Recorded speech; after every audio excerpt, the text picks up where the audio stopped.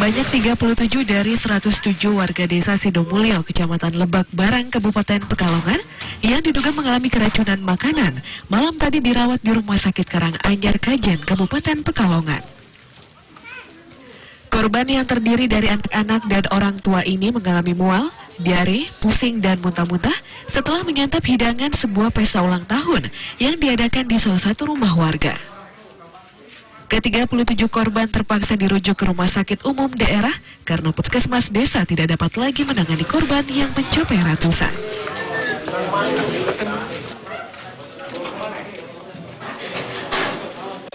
Gejalanya mual, ada yang mual, ada yang sampai diare, ada yang cuma pusing-pusing, luka.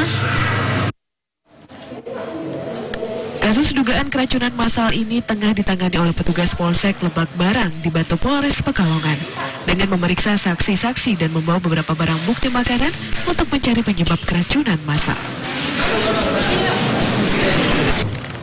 Demikian laporan Otong Susilo dari Pekalongan, Jawa Tengah.